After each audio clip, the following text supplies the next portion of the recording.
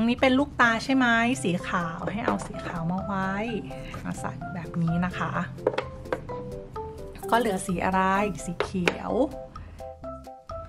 พิงเพรูมกลับมาแล้วค่ะ วันนี้ขอเสนอของเล่นชิ้นนี้เลย นี่ของเล่นหมุดไม้นะคะสำหรับเด็กเล็กค่ะ รุ่นนี้นะคะจะเป็นหมุดไม้ตัวใหญ่ เหมาะสำหรับเด็กอายุตั้งแต่ 3 ขวบขึ้นไปค่ะ ช่วยฝึกกล้ามเนื้อมือให้สัมพันธ์กับดวงตาและสมองนะคะ แล้วก็ฝึกการคิดแบบเป็นตรรกกะสอนสีสอนคำศัพท์ได้ด้วย ไปดูรีวิวกันเลยค่ะ ค่ะเรามาดูข้างในกันเลยนะคะ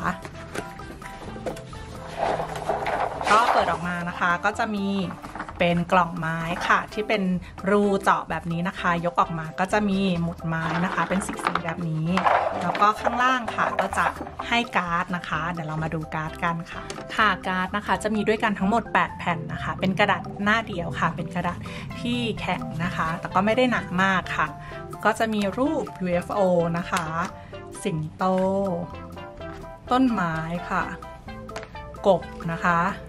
เต่าทอง เฮลิคอปเตอร์ค่ะ รถ แล้วก็เรือค่ะ ตรงนี้ก็ให้คุณพ่อคุณแม่นะคะ เตรียมภาชนะเอาหมุดไม้นะคะ มาใส่ไว้ด้านข้าง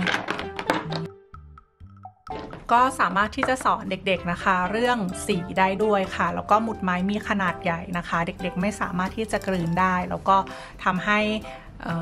จับถนัดมือเด็กด้วยนะคะ มีรูปร่างมนค่ะ หรือว่าเราเอาตัว Lady Bug มานะคะ ก็เอาแผ่น Lady Bug มา แล้วก็เอาหมุดไม้เนี่ยละค่ะวางไป โดยตรงนี้เขาจะมีสีเป็นไกด์ไลน์บอกนะคะ สมมติว่าจะเป็นสี red นะคะ เป็น red ก็ให้เด็กๆค่ะ เอาสีแดงนะคะมาใส่ไว้ บอกว่าให้หาเป็น yellow ให้คุณแม่หน่อยนะคะก็เอา yellow มาใส่แบบนี้ green ค่ะ เด็กเล็กๆนะคะสองถึงสามขวบเนี่ยการ ฝึกใช้กล้ามเนื้อมือให้สัมพันธ์กับดวงตาเนี่ยก็เป็นสิ่งสำคัญค่ะ แล้วก็เริ่มจากอะไรที่ง่าย ๆ ก่อนนะคะ ถ้าเด็กๆเขาทำได้ค่ะ ก็จะเกิดความภูมิใจในตนเองค่ะนี่ก็จะเป็นสีม่วงนะคะ แต่ว่าถ้าเด็กๆไม่เคยเล่นมาก่อนเนี่ยคุณพ่อคุณแม่อาจจะต้องช่วยนะคะตรงนี้เป็นลูกตาใช่ไหมสีขาวให้เอาสีขาวมาไว้มาใส่แบบนี้นะคะ ก็เหลือสีอะไร สีเขียว สีแดงนะคะ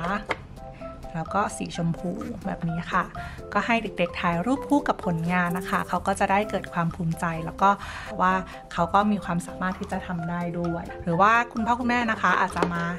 เล่นเป็นแบบอิสระค่ะ โดยที่ไม่ต้องเอาเป็นตามรูปนี้ก็ได้นะคะ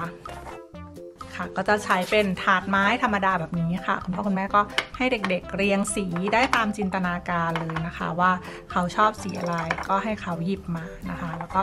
เอามาใส่ตรงนี้ได้เลยก็จะให้เขาได้ใช้กล้ามเนื้อมือของเขาค่ะ เรียงลงไปตามรูแบบนี้นะคะ ให้ครบทุกอันค่ะ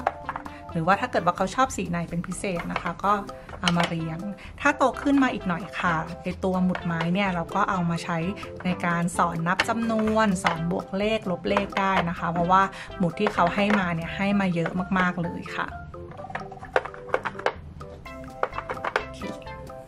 ก็ยังมีหมุดข้างในนะคะโอเคค่ะก็ขอจบการรีวิวนะคะ ของเล่นหมุดไม้สำหรับเด็กเล็กค่ะ หวังว่าคุณพ่อคุณแม่นะคะ จะชอบ ยังไงฝากกดไลค์ กดแชร์ กด subscribe เพื่อเป็นกำลังใจและไม่พลาดคลิปดีๆ ในตอนหน้านะคะ วันนี้ลาไปก่อนค่ะ สวัสดีค่ะ